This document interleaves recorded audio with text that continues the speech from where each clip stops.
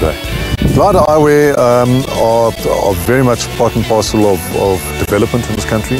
They want, to, they want to be part and parcel of that process.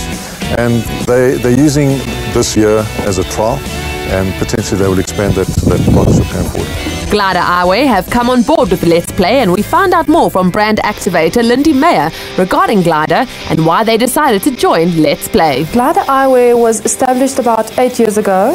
It's a proudly South African brand we at the moment we it's grown so much. We export to Australia, Germany, and New Zealand. Um, we've put together a performance, fashion, and outdoor range, uh, and we focus our events and our brand towards those three silos. Um, we sponsor a host of events, including SA Netball, SA Volleyball, triathletes, and then some water sports. Glider is a lifestyle brand. You know, we don't fit into a high fashion or an extreme outdoor sports bracket. Glider is for everyone, and so is Let's Play. We believe in the good work that you're doing amongst the youth in the country, and not only you know the benefits of the youth, but we also wanted to acknowledge the coaches and the staff that that work so hard behind the scenes to make Let's Play a great initiative. And that's why we decided to partner with Let's Play. We're looking forward to the rest of the year and making sure that all coaches live their life polarized.